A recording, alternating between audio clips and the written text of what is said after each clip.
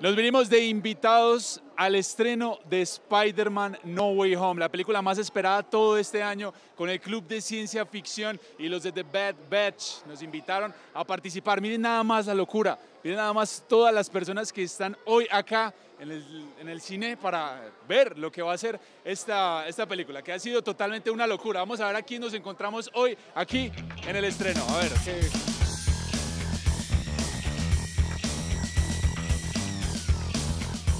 eso va a ser el boom, eso va a ser la película del año, esto es una locura.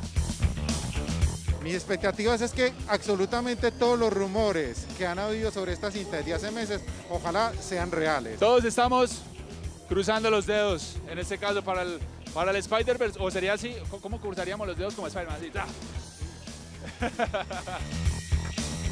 Cuéntanos cuál es el cosplay que llevas en este momento. Pues, parce, te cuento, realmente es un cosplay casero que quise hacer yo, em, pues con el traje obviamente lo compré, pero digamos que con la chaqueta, los zapatos y todo esto, quería parecerme a Miles Morales. Principalmente quisiera ver el multiverso, eso es lo que yo quiero. ¿Cumplió la expectativa la película? 100% sin duda. 100% Paulina, a ver, ¿y tú? No, mil por ciento. Es una de las cosas que más me gusta estar en los estrenos, porque se siente toda la energía de la gente cuando pasa algo emocionante. Todos empiezan a gritar ¡Ah! Y esta película definitivamente merece ese tipo de reacciones a cada momento.